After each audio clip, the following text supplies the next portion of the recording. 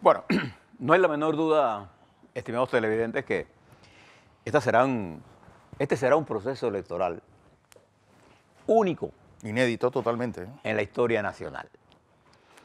Y eh, aquel que no tenga la capacidad de mirar el conjunto de las cantidades de factores que van influyendo y van a tener, digamos, eh, van a definir el destino del voto en el año 2019, pierde esta guerra. Es decir, el que no tenga una visión estratégica y una correcta interpretación de los hechos que están ocurriendo y se deje llevar por los cantos de sirena de algunos periódicos con clara intención eh, o con algunas comunicaciones de redes con claras intenciones, se pierde en este universo. Voy a, permitir darle a usted algunos elementos para que usted vaya haciendo sus notitas y vaya entonces usted elaborando su propio pensamiento. Porque la idea de esto es que usted piense en lo que está ocurriendo. Antes, José, eh, se acaba de dar un, hecho de sangre en la barriada Montelimar, en La Chorrera. Por menor de edad parece que entró a una casa a robar. El dueño de la casa le, le- le hirió con arma blanca y este fallece en el hospital, El menor. el menor. Bien. Bien. ¿Cuáles son? Fíjese que no, no vamos a hablar, no quiero tocar el tema de Ricardo Francolini porque lo vamos a tocar Vamos a tocar más ampliamente. más, a- más adelante. Pero la propia, desde ayer, desde que se dio la detención y que ya sabíamos que se iba a dar. O sea, aquí este es el único país que usted te- predecir con lo que va a pasar en la justicia, puede saber. Eso ya se sabía. Es una cosa cantada. Porque en, realidad no depende ni siquiera de la fiscal. Aquí hay decisiones que están por encima de los fiscales y ese es el peligro que tenemos en este momento. Por ese caso lo vamos a tratar. El caso de Francolini lo que hizo fue darle un elemento más de análisis para la situación general. Pero el caso más importante, en términos, digamos, de su impacto político, es esta decisión de Ricardo Martinelli. Entonces, mire, haga una listita de las cosas que le voy, le voy a plantear para que usted la vaya analizando de acuerdo a la información que usted tenga y al criterio que usted tenga. ¿Cuáles son los factores que van a influenciar en la decisión del electorado en el año 2019? Entonces, póngale así, factores. Mm. Primer factor, Ricardo Martinelli. ¿Es un factor de decisión en las elecciones de- del año 2019? Sí. Imponderable. Sí, sí, sin duda, no, no, póngalo ahí. Segundo factor, Juan Carlos Varela será un factor en las elecciones del 19? Sí. Póngalo en ganchito. La agenda del elector, que incluye esto que usted acaba de señalar, seguridad, eh, educación, salud, agua, ¿será un factor? Pero ¿cuáles son los factores subjetivos que moldean su realidad, la del elector, incluyendo la suya y la mía? Entonces haga una, un- una línea T, como si fuera contabilidad, y ponga de un lado los positivos y los negativos. Por ejemplo, ¿qué usted considera lo más importante en una persona que quiere dirigir el país? Su capacidad de liderazgo. Dos, la credibilidad. ¿Qué es lo que se ha perdido en Panamá? El liderazgo La credibilidad. y la credibilidad. Es decir, ya estamos en un punto en que usted no cree en nadie, pero usted va a creer en alguien, usted va a creer en aquella persona a la que usted sienta que puede confiar el destino de su, de su familia y de su patria, pero primero el de usted. Porque no, no, se, no, se, no se define eh, su credibilidad en una persona si no piensa usted qué, qué sería este señor Blandón, eh, Correa, qué harían por mi familia. En términos no de que le vamos a regalar una nevera, sino qué harían para que yo tenga trabajo, para que yo me sienta feliz, para que las cosas mejoren. Entonces eso se llama liderazgo. La otra cosa que usted necesita es valores morales. O sea, cómo yo combato el cinismo de los, de los políticos que un día se aparecen diciendo que están en contra de la corrupción y ayer eran parte de ella. Entonces, todos estos factores, liderazgo, credibilidad, facto- factores, valores, valores, visión. En el mundo complejo, ¿usted qué necesita? Un hombre o una mujer que pueda entender el mundo y el papel que esta nación, que geopolíticamente tiene un destino por encima de lo que. Si nosotros no queremos mirar que mirando el ombligo, el mundo nos va a mirar como lo que somos, un paso comercial obligado con una infraestructura comercial envidiable en el mundo. Entonces necesita un dirigente que tenga esa visión geopolítica, que fue la que llevó a Omar Torrijos a vencer a los Estados Unidos. Nosotros no vencimos a los Estados Unidos ni con misiles, ni con cohetes, ni con bomba atómica, ni con bomba nada, ni de agua, ni de nada, porque no teníamos. Lo único que teníamos era talento. Y llevamos esto al mundo internacional. Y este es el mundo más complicado, pero más rico. Este requiere eso. En este momento hay un impasse en la gestión de gobierno. Por aquí tengo un comunicado que, Transparencia Internacional publica, que es un, este, es, digamos, este es lo que usted no hace. Cuando usted lea esto, se da cuenta que el que escribió esto no tiene la menor idea de lo que está pasando en el país. No tiene idea. Porque esto no es la que refleja. Estos análisis son los que lo van a llevar a usted al fracaso. ¿No? Simplismos frente a complejidades. Eso es lo que se llama el reduccionismo que impide ver la película completa. Fíjese cuándo llega Ricardo Martinelli aquí. Ricardo es o no es el dirigente de Cambio Democrático. Si usted quiere ser diputado, alcalde, representante, tiene que tener el apoyo espiritual implícito de Ricardo Martinelli, porque Cambio Democrático es Ricardo Martinelli. Pero hay otro factor importante en el poder en este momento, en Cambio Democrático, que son los diputados. El grupo de Ricardo Martínez cometió el error de subestimar a los diputados y perdió las elecciones internas. Pero no perdió Ricardo Martínez su liderazgo dentro de Cambio Democrático. No. Hoy por hoy el, político de mayor, eh, eh, ¿cómo se llama? Eh, aprecio en el electorado es Ricardo Martinelli. Hoy. Esté preso, esté aquí en Panamá, esté en la China. Ahora piénselo aquí. Su sola presencia, su sola decisión de ayer ha tomado el debate inmediatamente. Eso le está indicando el poder de una persona. Si usted trae aquí a Pelúa, lo trae y no entra y no pasa nada. Pero ya está usted todo esto, ahora todo el mundo va a hacer un, cambio, a ver, un, un rechufle de comunicación, de comunicación hacia Ricardo Martinelli. Pero ¿dónde se mueve el voto en este país? ¿Quién lo mueve? Los diputados. Del PRD, de Cambio Democrático, el panameñismo, de- el- del Molirena, etc. Ellos representan la base con que se mueve todo esto. Entonces, la confrontación que hoy tenemos es el producto de una sorda lucha por el poder económico. No es una lucha entre un diputado y otro diputado porque se quedó con 30 mil. No, no, no hablamos pendejada. Aquí lo que está en juego son los grandes poderes económicos que han tomado decisiones de asaltar la vida política con sus representantes directos. Para ello necesitan destruir a los partidos. Y lo que se llama los antipolíticos o la, o la antipolítica, ¿no? con la intención de, en nombre de una sociedad civil honesta, entre comillas, asaltar a los partidos para desplazarlos. Y se convierten entonces los periódicos, los medios, en las estructuras políticas. Pero eso no está en la mente del elector. El elector seguirá siendo, el, el- el elector, el elector, no el lector, seguirá siendo panameñista, Cambio Democrático, PRD, Molirena, FAT, lo que sea. La base de este país, 60%, es partidaria. La otra no es partidaria.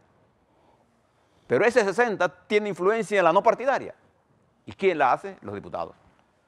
Entonces la presencia de Ricardo en Panamá plantea una nueva ecuación que transforma la dinámica política del país.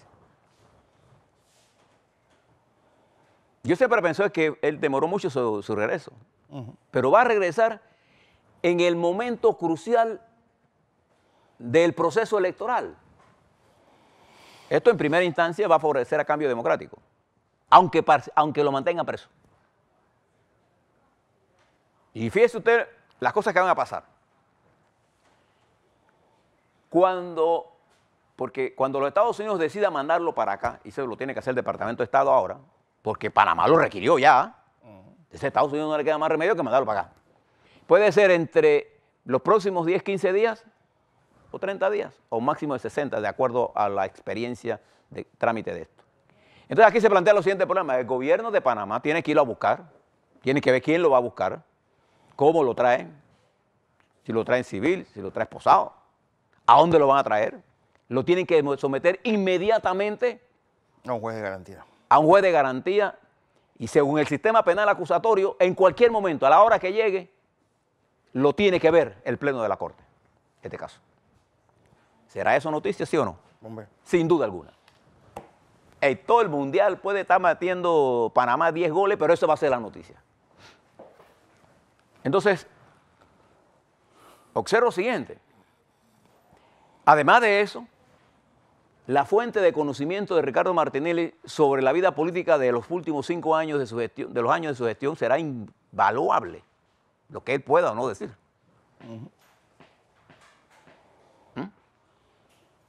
Y aquí no estamos hablando de Noriega, que estaba más vinculado a las agencias centrales de inteligencia. Martinelli no tiene esas complicaciones. Entonces se convierte en un factor de poder importante. Y lo que va a pasar es que la confrontación Varela-Martinelli se podría tomar la vida política nacional. Por eso que ayer cuando yo le hablaba a los fiscales, le decía que si ellos no tenían en consideración el entorno en que ellos estaban manejando, podrían cometer el error de empujar la justicia a, una, un enfrentamiento político de la cual ya estamos. No me hicieron caso. La señora fiscal, una, mujer a la cual le reconozco su, su capacidad de manejarse profesionalmente, comete el error para mí de insistir innecesariamente en una apelación empujada por otros factores de poder. Porque no existe ninguna razón jurídica real para tener a Ricardo Francolini, pero solo de ponerle presión a, cambio democrático, a cambio democrático. Pero viene ahora, digamos, el, el huracán que se llama Ricardo Martinelli y puede crear entonces una nueva correlación de fuerzas en el país. ¿Cuál va a ser la magnitud de esto? Va a estar en consonancia directa por los errores que cometa el factor Juan Carlos Varela, que todavía no ha entendido que, la confrontación le hace daño a él y al país. Que lo que necesita el país es un entendimiento entre la Asamblea Nacional y el órgano ejecutivo para llevar la fiesta en paz. Y eso significa, por ejemplo, dejar de utilizar los casos de investigación como arma política, porque lo van a sobrepasar. No va a haber tiempo para terminar esos casos. Y esto va a entrar en la confrontación política electoral, no tengan la... Por eso yo le decía al Ministerio Público que ha hecho avances, fíjese, yo soy una de las pocas personas que tengo el valor de reconocerle al Ministerio Público que ha hecho cosas importantes. Y por eso hay mucha gente por ahí que dice, bueno, ¿por qué Belandón habla bien de la, señora eh, Porcel? Y aquí hay gente de cambio democrático que se molesta cuando uno dice estas cosas. Pero yo, no estoy aquí para agradarle a nadie en particular, yo estoy aquí para que usted tenga información adecuada. Hoy, con la decisión de Ricardo Martinelli, se produce un cambio en la ecuación política del país. ¿Ese cambio beneficia y fortalece a cambio democrático? Sí, en primera instancia. Y la confrontación entre CD y PRD, si Varela no actúa para resolverla, se le va a salir de las manos. Eso es otro hecho político. Allá la prensa, si quiere seguir en eso, allá quienes pagan eso, allá si la procuradora no entiende que es su deber como dirigente de ese Ministerio Público proteger y blindar al Ministerio Público de no caer en la eh, marea que se va a generar en esta confrontación política de predicciones muy confusas. Yo recuerdo en 1968 con crisis parecidas, pero menos profundas que esta. Porque esta es una crisis que no tiene un factor de poder que decida, como la Guardia Nacional en aquella época. Porque ustedes recuerdan que la Guardia Nacional no fue con Torrijos, fue desde siempre que era el factor que definía las, las luchas interclases que se daban entre la oligarquía. A ver, cuando un oligarca perdía una elección, ¿a quién llamaba? Al comandante de turno y eso lo ponía ahí. La Guardia Nacional era el brazo armado de la oligarquía. Pero ahora no hay brazo armado. ¿Usted cree que la policía... Ni árbitro. No, la policía puede dar un golpe aquí en este país. No. Además estamos en la época de los no golpes. Los gobiernos no los tumban, los gobiernos se caen. Entonces, ¿qué es, qué es lo que hay que hacer?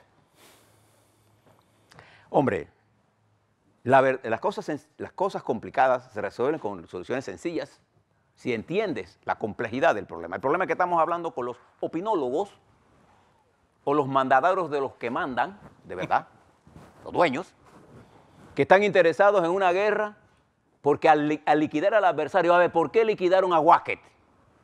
¿Y quién se quedó con los negocios de Wacket? Fernando, yo, usted que nos está escuchando, la gente, no, los ricos. Ya, Feliz lo compraron por una bicoca. Entonces, la marca e, esta guerra económica, que es la verdadera razón de la guerra. ¿Usted cree que el señor Trump está peleando por la democracia de Venezuela? No, no le importa eso. Al señor Trump lo que le importa es hacerse más millonario, porque es que, señor, usted, estudia la psicología de los multimillonarios. A mí me decía el presidente Lula da Silva, en una conversación, que cada vez que tú le haces un, un favor a un rico, viene nuevamente a pedirte un favor mayor. Pero cuando tú le haces un favor a un pobre, le das una casa, le resuelves la salud, ese pobre está agradecido y no te viene a pedir más nada. Y siempre se recordará de ti. ¿Por qué decía Lula? Que los millonarios son insaciables. Ellos solo tienen un órgano que le funciona, el bolsillo. Trump lo decía con más crudeza. Los políticos tienen corazón. Los empresarios no tenemos corazón. Con ese dramatismo y esa barbaridad de, cosas que dice Trump, él dice verdades entre pecho y cosas. él es capaz de decir cosas que pueden parecerle a ustedes bárbaras, pero es su verdad, así piensan ellos. ¿Usted cree que el señor Buffett, multimillonario, le interesa el mundo? Él, para él el mundo un garito donde puede comprar lo que él le dé la gana. Entonces, ¿por qué yo le quiero explicar esto? Porque para nosotros es importante lo que está ocurriendo, porque hemos añadido a nuestra matriz de información y de análisis político la ecuación Ricardo Martinelli. Y no la vamos a añadir aquí con odio, ni con subestimaciones, ni sobreestimaciones. La, la, estamos añadiendo, porque ya usted verá mucha gente por ahí diciendo, viene el loco, y ese sí hizo. Entonces, en medio de esto, mire el escenario. Hoy es 24. El proceso electoral en cambio democrático se abre el 28, el lunes lunes. El primero de julio abre la asamblea. Panamá necesita urgentemente, no Varela, pasar cuatro legislaciones fundamentales para mantener blindada nuestra economía en medio de la guerra que hay. La procuradora acaba de abrir una investigación sobre el uso de los offshore en, en Brasil, que va a tener un impacto importante de presión en el mundo para que Panamá declare ilegal y declare como, como delito la defraudación fiscal. Nosotros necesitamos tomar algunas medidas para equilibrar el presupuesto. Necesitamos tomar medidas para proteger nuestro sistema de servicios. Eso es urgente. Pero usted cree que bajo las actuales circunstancias de la confrontación ejecutivo-legislativo eso es posible hacerlo? No, no es posible hacerlo. Entonces, ¿qué es lo que tenemos que hacer? Alimentar esta confrontación diaria, este desgaste, esta autoflagelación que tenemos todos los días de Dios. en decirnos que estamos mal, que somos... Ya decimos tantas veces que estamos mal que no lo creemos. Yo he asistido, a almuerzos que me invitan algunos de estos hombres y mujeres que tienen poder en este país económico y me dicen que la situación está mal, pero están comiendo filete importado, tomando vino de 200 dólares. Yo le pregunto, ¿qué, qué mal están ustedes? Mal está el tipo de allá de Arraiján, que tiene que pararse a las 3 de la mañana y lleva 4 dólares para la casa. Ese es el que está mal. Pero ustedes también sigan fomentando eso y van a quejarse en Miami. Cuando venga un Chávez aquí, entonces se van a quejar en Miami, nosotros vamos a quedarnos aquí porque no tenemos para dónde irnos. Entonces llegó el momento, y fíjense, no tengo la menor duda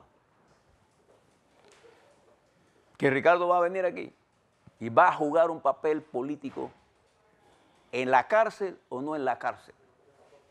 Y entre más duro lo ataque el gobierno, más lo va a querer el pueblo. Yo recuerdo, y le voy a dar mi experiencia, cuando Arnulfo Aria corría en el año de 1984, yo era de los que pensaba que al doctor Arnulfo Aria había que darle micrófono para que la gente lo conociera. Pero había gente atrasada que decía, no, no, ese viejo coge el micrófono. No, Arnulfo Aria ya no tenía un pensamiento coherente. coherente, pero sí era un líder. Y a los íconos y a los líderes no se matan. Uno tiene que aprender a vivir con ellos. ¿Cuánto hizo el periódico de la, periódico La Prensa para destruir al general Omar Torrijos? Le pregunto. Ellos irán al basurero de la historia. Omar está en el, templo de la patria. ¿Lo han destruido? No. ¿Han destruido a Nufaria? ¿Nosotros logramos destruir a Nufaria? Nunca. ¿Podemos destruir los héroes y heroínas del país? No. Los símbolos de esa, de esa naturaleza no se destruyen.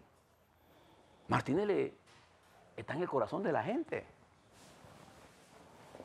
E incluso los ricos que hoy lo combaten hicieron más negocio que todos ustedes que hicieron salarios nada más. ¿Yo por qué yo les explico esto? Porque ahora todo el mundo va a decir, no, hombre, que este se volvió Martín. No, yo, yo soy una persona objetiva.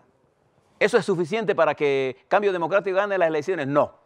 Eso es suficiente para convertirse en una ecuación de poder que puede definir caminos a tomar. Para que estén claros.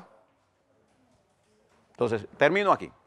Nosotros vamos a seguir con el caso de Francolini. Yo tenía preparado un análisis político para ustedes, pero con esta presencia de Martínez le voy a hacer algunos ajustes. Prometo compartirlos con ustedes a partir de las próximas semanas.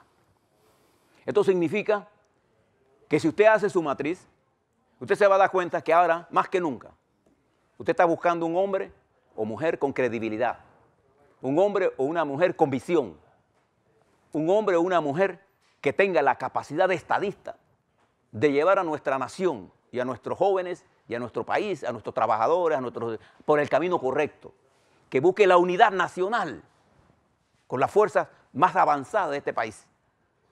Que podamos incorporar a esos 200 mil niños y niñas nuestras que están fuera de las escuelas, que pueda impulsar en una especie de complicidad de clase con las mujeres campesinas, los campesinos, los productores agropecuarios, los indígenas, una salida social, no de subsidios, sino darles herramientas para que ellos vivan en una vida digna y feliz e independiente de nosotros de la estructura política partidaria y puedan pensar.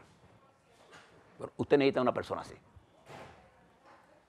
Pero ahora tenemos una nueva situación política, interesante, complicada. No le haga caso a los simplismos de la gente que por ahí está hablando pendejadas.